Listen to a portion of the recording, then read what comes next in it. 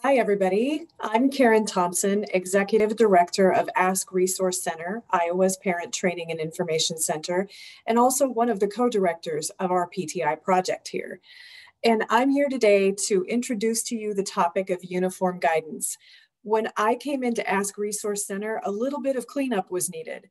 But I have to say, even if you're a project director or executive director that doesn't need to focus on cleanup, you do need to focus on continuous improvement. And things, as you know, are constantly changing with federal grants.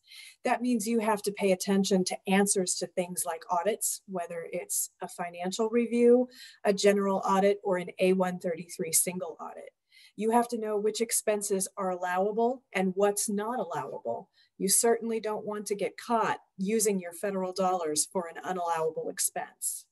You need to know what things to infuse into your policies and procedures, have answers to what types of indirect are available to you, and have answers to things like your human resources matters, procurement matters, and contracting procedures.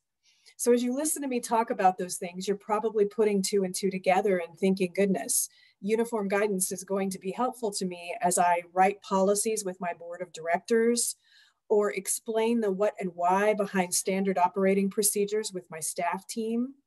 Make it possible for me to know that my contracts and my MOUs are written the way that they should be make certain that I know that I'm a grantee operating the way that I should be, heaven forbid the IRS should show up on your doorstep for an IRS audit, which they could do anytime, we all need to be prepared that, to show that we've infused uniform guidance into the work that we do and that we understand how to do that.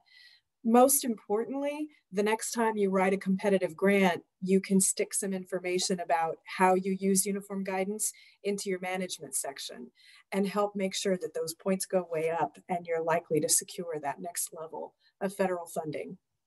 So it may seem like a bit of a dry topic, but it's a very important topic and it will save you to make sure that you understand uniform guidance and how to use it.